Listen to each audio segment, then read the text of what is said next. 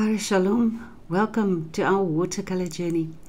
Today we will show you how to create this beautiful sunset scene with just two colors. The materials used are listed in the description below. On the palette we have dioxazine violet and quinacridone gold and a dark premix of dioxazine violet and quinacridone gold. Color alternatives are listed below. Violet and yellow are complementary colors. This means that they sit opposite or across from each other on a standard color wheel. Using these colors together will create a higher contrast compared to using other color combinations. Being opposite, these two colors attract and complement each other nicely. But if you mix complementary colors together, they cancel each other out and produce a more uniform color in the grayscale spectrum. This is why the mixture of dioxazine violet and quin gold could produce this beautiful dark gray brown.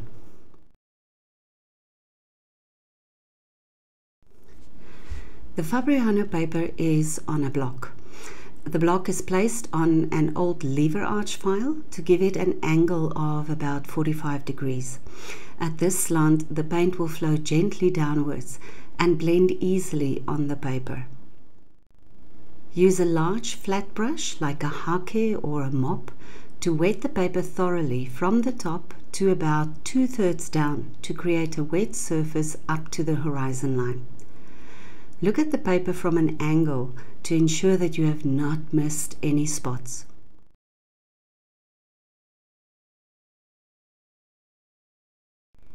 Use a large brush and the brownish mix to paint the sky. Start with a stronger mix at the top. The paper is very wet, so if you use a weak mixture, it will simply disperse into the wet surface and not give you enough color to work with. Add some pure violet and use some clean water to help the paint spread. Make your brush strokes from the outside to the middle to create depth.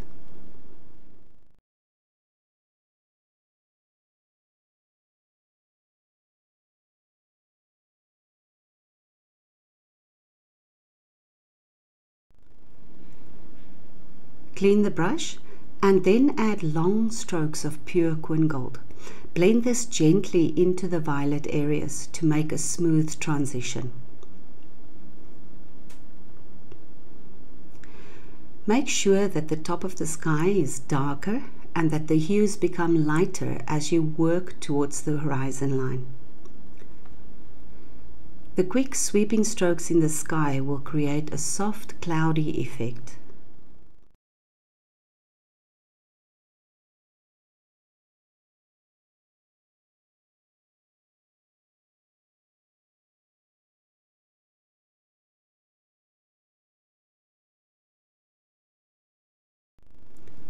Try to keep the horizon line fairly straight.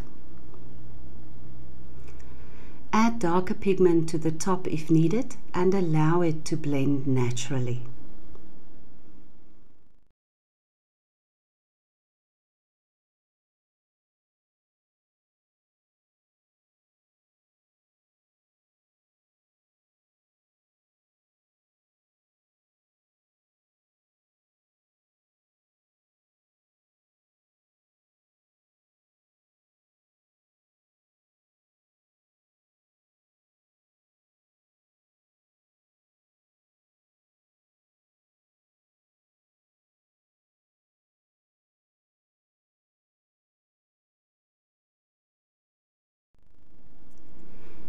Rinse the brush and dab it on a paper towel to get rid of the excess water. Now use the tip of the large brush to add a tree line in the background. It is important that your brush is not too wet. You are now adding paint to a damp surface, so if the brush is too wet, it will cause blooms. Dab the paint in lightly with the tip of the brush. Form small tree shapes and allow the paint to spread. Create interest by adding small amounts of all the colors from the palette. To keep the illusion of distance, make your tree line higher on the outsides and lower towards the middle.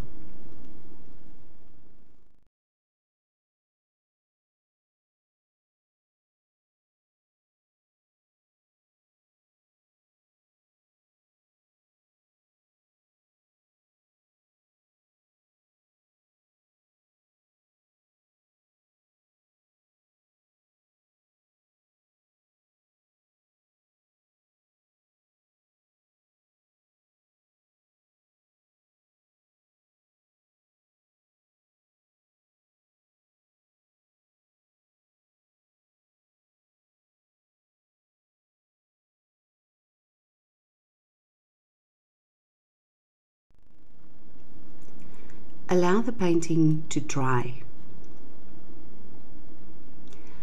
Don't be afraid to use enough pigment during your first wash. As you can see, the paint dries back to a much more muted hue than when it was wet. Use a large brush again, and now you can wet the foreground. Here you want to mimic the sky onto the terrain in front. So you will start on the horizon line with a quin gold and then work towards the front with the violet, making the same kind of brush strokes that you had in the sky.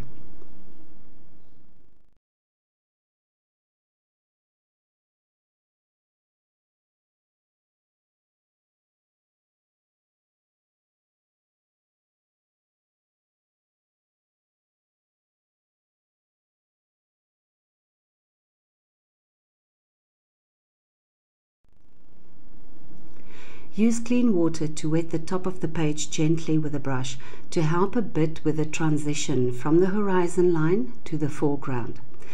It is best to wet the entire area to avoid creating a hard water line in the sky.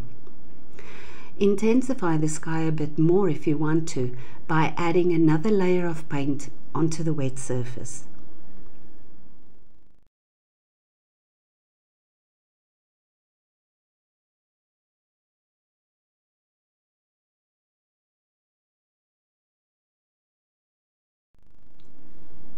The water has settled a bit in the foreground now, so you can start to define the terrain by adding strokes of paint from your palette. Use all three the colors to bring variation into the terrain.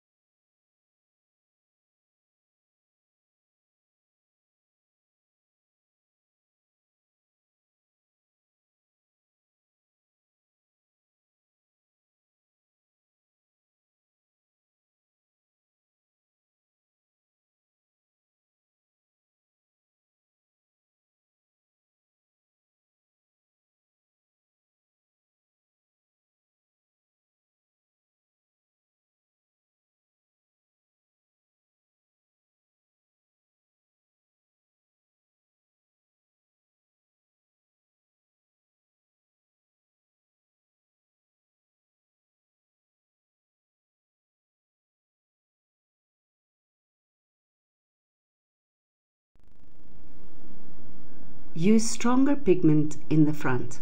You are going to add salt soon, so make sure that you have enough pigment and moisture for the salt to work.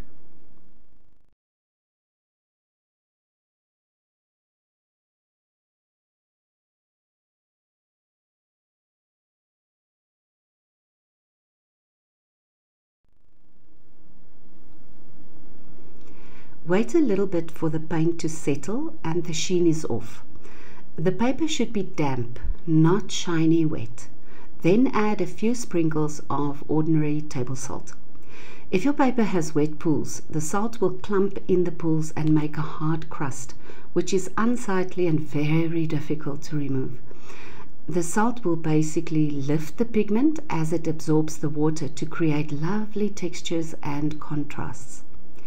Some pigments lift easier than others, so you will sometimes get quite unexpected results. Allow the painting to dry and then brush off the excess salt.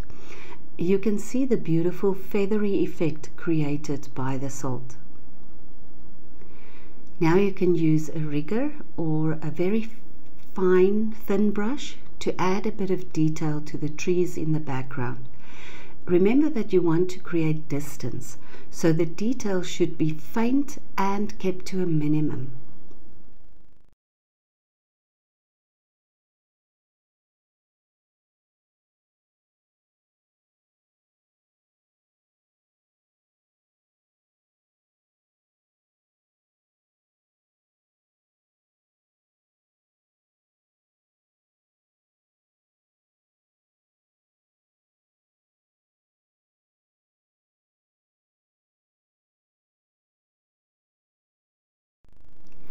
You can define the terrain a bit more with a few strokes down the paper.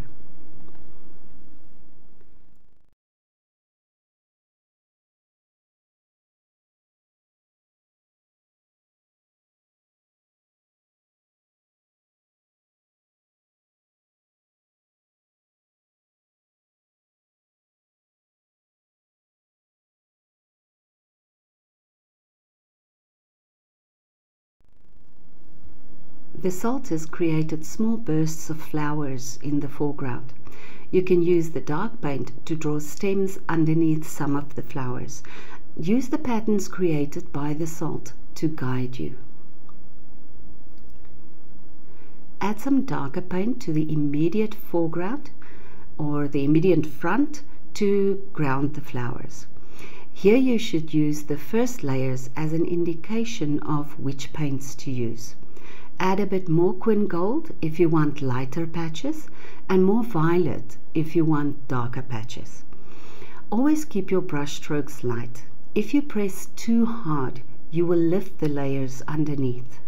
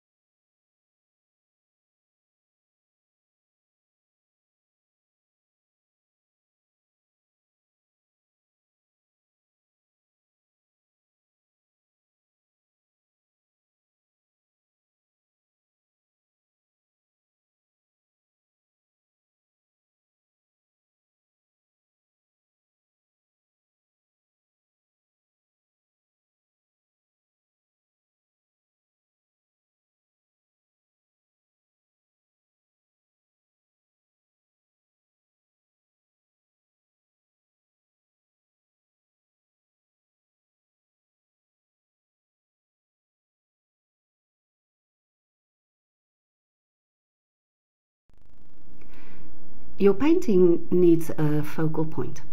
You also need to make sure that your composition is balanced. In this case, the tree line on the left seems a little more prominent than the one on the right. So to even things out, the tree is placed on the right side of the painting. Use the dark mix and the rigger or thin brush to paint the tree. You can start with a trunk and press a bit harder at the base. Then lift the brush as you move upwards to thin it out into the branches. If you are skilled with a rigger, you can draw the branches from the outside in, but it is easier to work from the trunk outwards. Press harder where you start the branch from the trunk and then lift the brush as you move the, uh, towards the tip of the branch. Use the tip of the brush to lightly add some twigs. Make some of the branches darker and others lighter to give your tree dimension.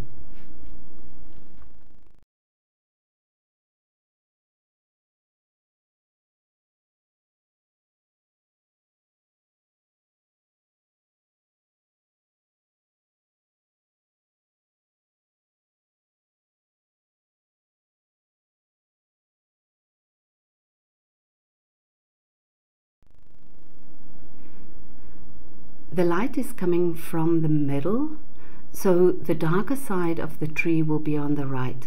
Add a bit of darker paint to give the tree a shadow side. Add a few strokes of paint to the base of the tree to ground it. The dark branches will stand out nicely against the lighter golden background, giving your painting some depth.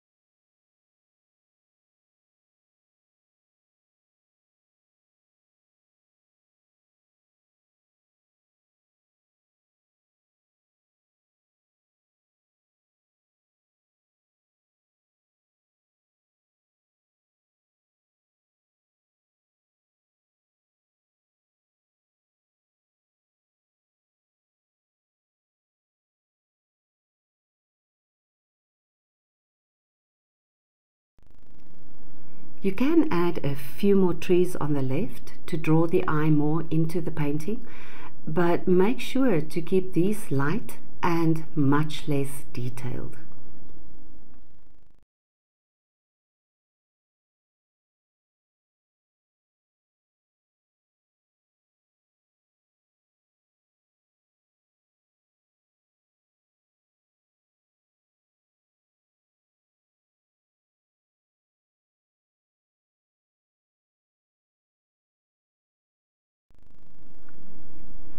Use darker paint to make some shadows along the contours of your first layer. This will define the terrain a bit more and make it look more natural. You can use the belly of the brush to make a few upward strokes and then blend it out with your finger to make some grass patches or small bushes.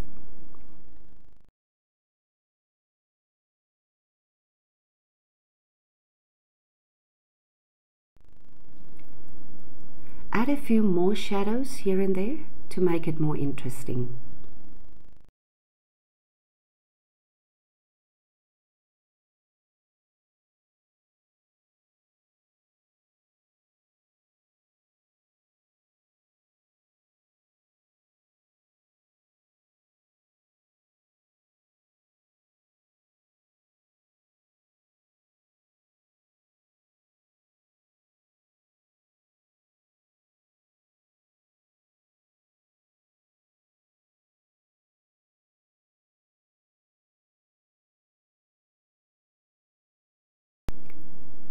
Sometimes it can be challenging to work with a limited palette, but it is a good way to practice how to play light against dark to create dimension in your work. Thank you so much for joining us today. We hope to see you soon. Vaya con Dios.